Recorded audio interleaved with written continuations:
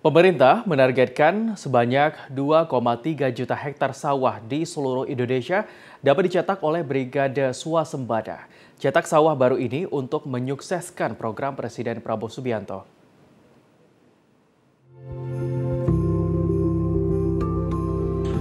Menteri Pertanian Andi Amran Sulaiman mengatakan, dengan dibentuknya Brigade Swasembada ini dapat mensukseskan program cetak sawah sekitar 2,3 hektar di seluruh Indonesia.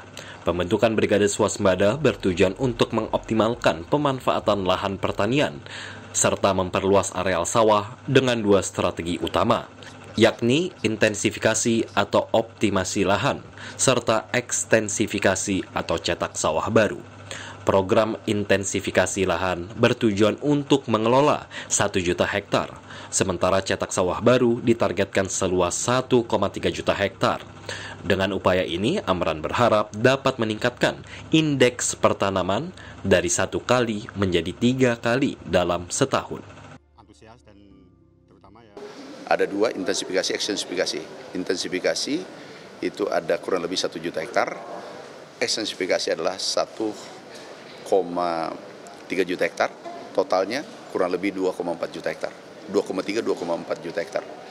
Ini target kita, ini sasaran kita. Jadi jelas. Kalau dan targetnya adalah berikutnya adalah meningkatkan uh, indeks pertanaman. Tanam satu kali menjadi dua kali, dua kali menjadi tiga kali. Ini akan meningkatkan produksi uh, cepat untuk sektor uh, pangan khususnya padi. Nah, itu langkah-langkah yang kita lakukan. Demikian laporan di Torosito, Garuda TV.